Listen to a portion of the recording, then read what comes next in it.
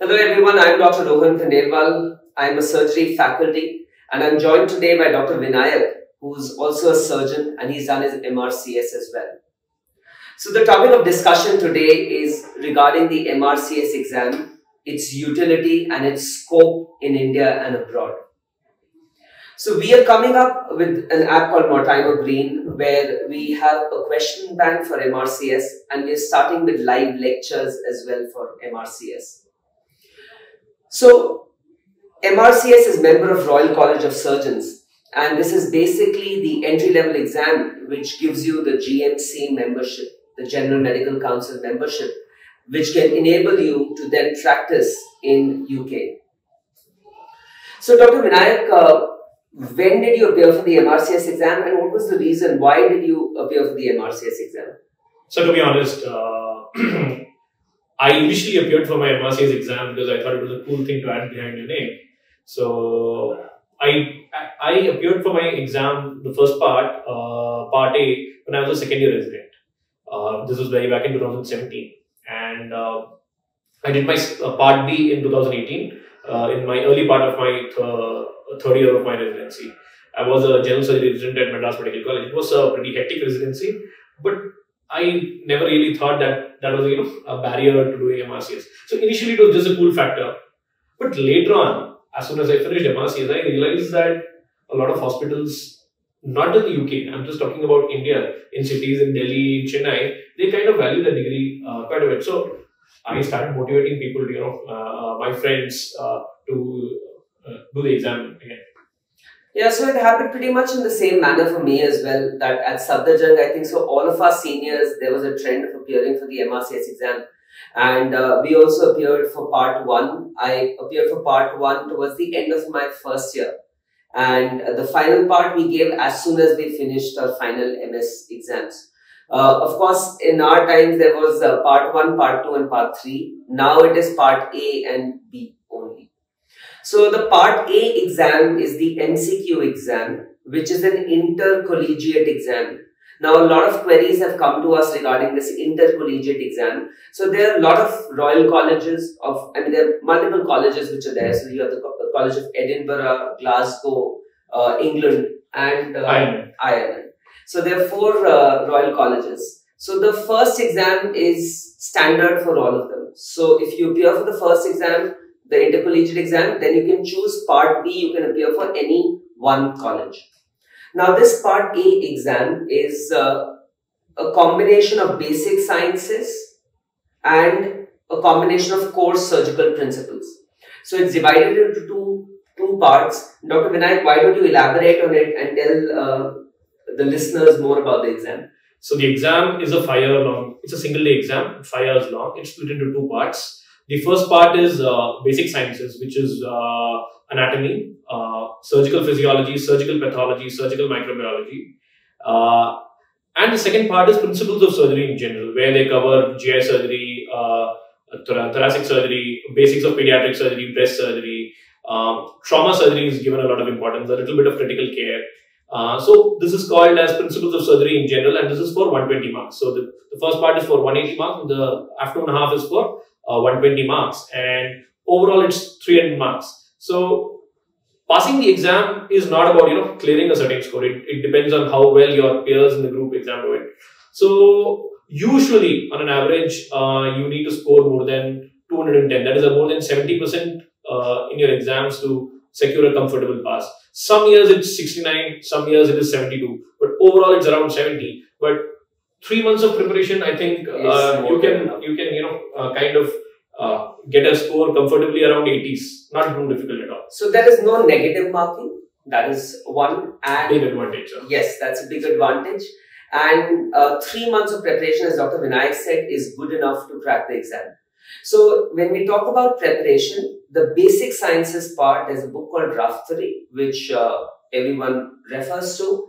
And in addition to that, you can solidify your concepts by listening to videos from various sources. Even Mortimer Green is going to come out with uh, video lectures soon and live video discussions.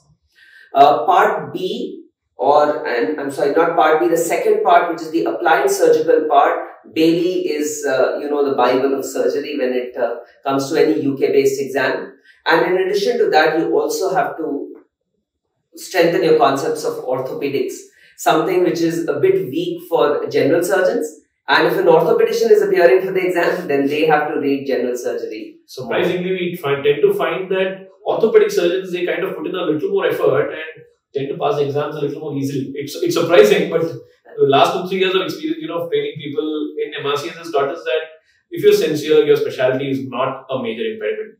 The other interesting fact which I want to convey is that you really need not be a surgery postgraduate to do your MRCS exam. Correct.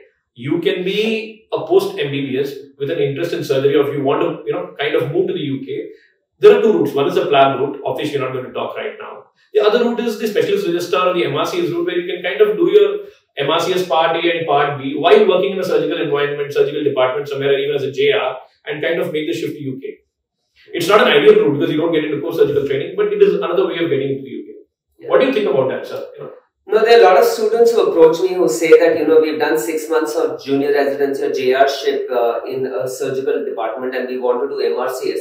So I always encourage them that, you know, you should uh, take this route.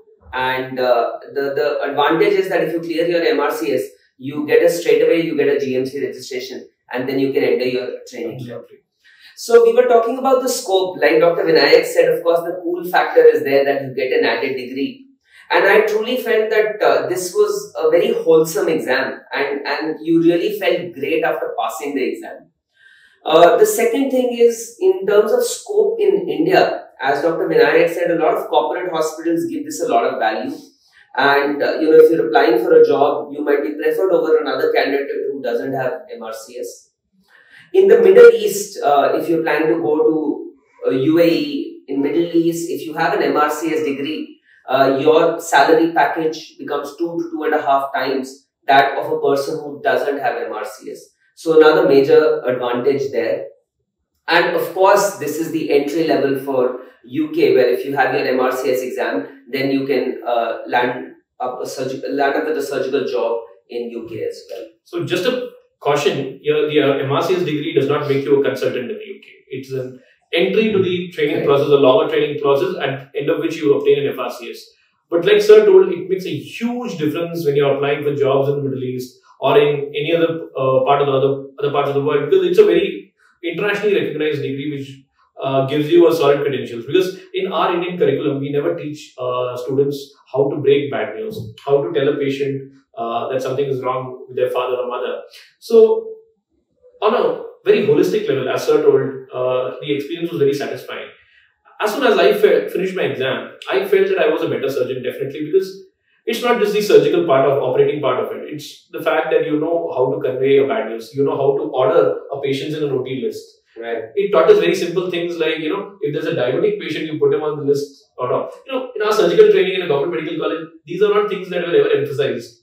Correct. So I felt that the entire process of going through the examinations, irrespective of you following a career in the UK or not, makes, makes you a better surgeon. Absolutely. Absolutely. And also one more thing, if you plan to do fellowships in UK, especially a lot of orthopedicians or vascular surgeons like to go to UK for some time to do fellowships. So there also you need to get a GMC registration and for that you need to have your MRCS degree. So that was regarding part A. Part B is the practical exam or the OSCE exam. And Dr. Vinayak, why don't you briefly tell them about part B exam as well?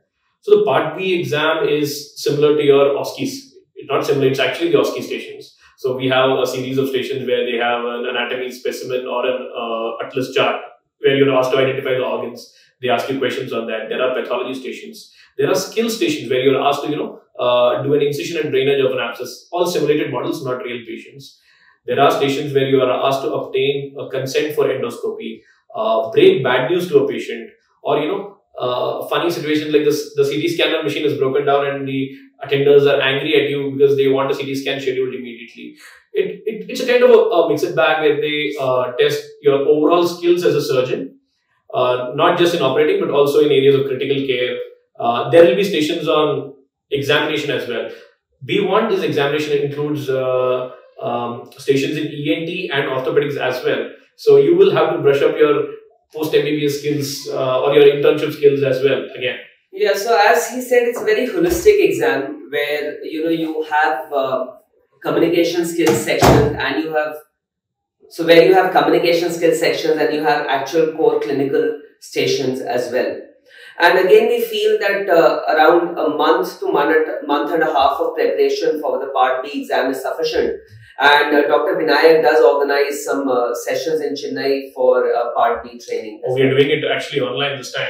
Uh, I mean, last four times, uh, out of four, I think over two years, we have conducted four sessions, and only one of them was offline. The other three sessions were online, and we have an excellent result. Yeah, obviously due to COVID. We had scheduled a session in January uh, in Chennai, but you know because of COVID, we had to make it online. And I'm very happy to say that most students, we uh, the July session we had one, and uh, we had four students training. It was a very small batch. Four students who trained, all of them went to the UK, and we had a hundred percent pass. So okay. I think that was great. You know, when your students do well at the end of the day, and you know they're able to establish careers in UK. And in this workshop, we kind of go holistically and you know teach you stuff which uh, other people also you know are hesitant to teach, like stations such as ECG for surgeons uh, and how to build a career in UK. And our course for Part B is focused extremely on communications and history taking because that is an area where Asian yes. and Indian students are lacking, lacking and kind of tend to fail because our training does not emphasize that. So for the Part A exam, you can apply online by visiting the Royal College website. And like we said that at Mortimer Green, we are coming up with a Q bank, we are coming up with live discussions and also video lectures, which would help you for both part A and part B.